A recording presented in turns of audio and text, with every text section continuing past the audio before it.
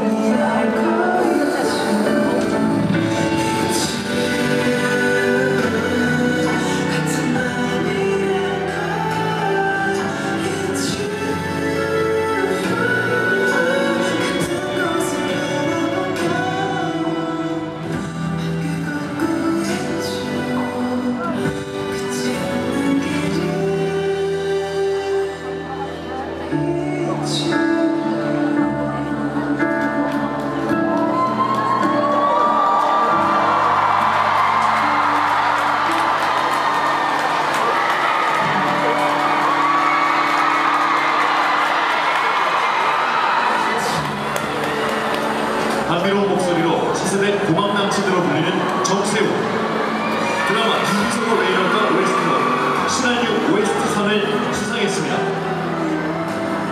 네, 어, 우선 정말 저 하나를 위해서 고생해주시고 노력해주시는 저희 스타쉽 김시대 리터님과 스타쉽 가족들, 그리고 헤어 메이크업, 스타일 팀, 그리고 좋은 드라마 함께 할 수 있도록 도와주신 모든 분들께 정말 감사드립니다.